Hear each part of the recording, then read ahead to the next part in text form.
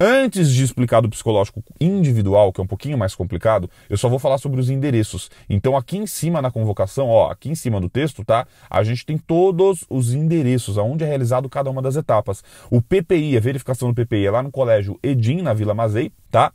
O, o, exame de aptidão física, o teste físico, ele é na Escola de Educação Física, na Cruzeiro do Sul, 548. O exame de saúde é feito lá no Panelão, no lado da, da onde você faz o teste físico, né? No prédio do lado, aquele prédio redondo, grande, azul, né? Cruzeiro do Sul, número 548, tá? É, lá vai ser feito o Perdão, é Cruzeiro do Sul 260, tá? 548 é o teste físico, 200, número 260 é o exame de saúde, é lá no panelão. O psicológico coletivo, ele é feito na Escola de Sargentos, fica lá na marginal do Tietê, próximo do Tatuapé.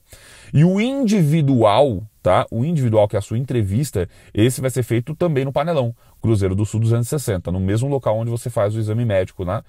E também no mesmo local onde você entrega a sua documentação, tanto da investigação social como da análise de docs. Então lá no panelão vocês já vão estar acostumados a ir lá várias vezes ao longo do concurso, tá bom? A única etapa que se distancia um pouquinho ali daquele pedaço é o exame psicológico coletivo, que aí vocês vão lá para a marginal do Tietê, na Escola Superior de Sargentos. Tá certo? Tem, aqui tem todos os endereços, tem tudo bonitinho. Para todos vocês, os endereços serão os mesmos. É aqui que vocês vão fazer as etapas. O que vai mudar, dependendo da sua turma, é o dia e o horário. Beleza? Maravilha. O que faltou explicar para vocês aqui, pessoal?